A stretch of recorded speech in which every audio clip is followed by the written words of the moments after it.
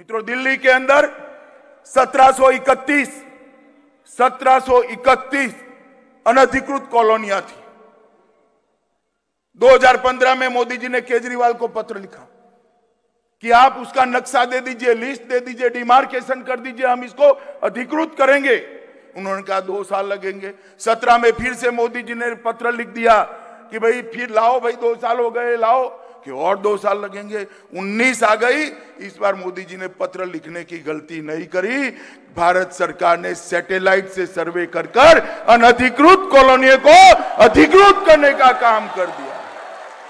50 लाख लोग, दिल्ली की 50 लाख की जनता 1731 1731 अनधिकृत कॉलोनी में रहने वाले लोग आज अपने घर का मालिक होने के गौरव के साथ जी रहे हैं। मित्रों, ये लोग एक लाख, दो लाख जो कहो, वो टैक्स देने के लिए तैयार थे।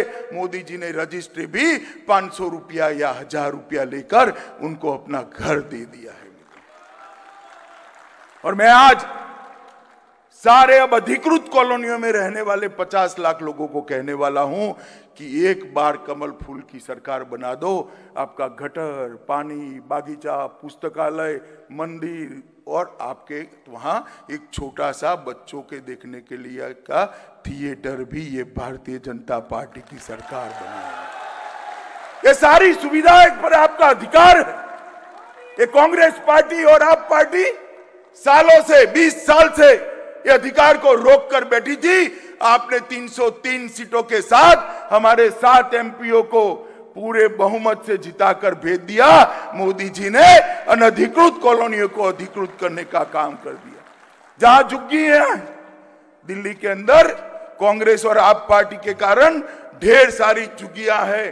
सारी झुग्गियों को जहाँ झुग्गी है वही मकान देने का वादा मोदी जी ने किया है। इसका सर्वे भी चालू हो गया है और मैं कहने आया हूँ, हम केजरीवाल नहीं है।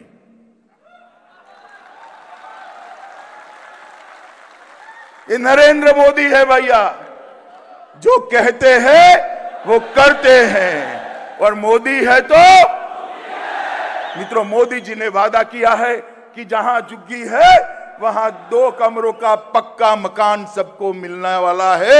मैं आश्वस्त करना चाहता हूँ झुग्गी झोपड़ी वालों को कि आपके भी अच्छे दिन आने वाले हैं।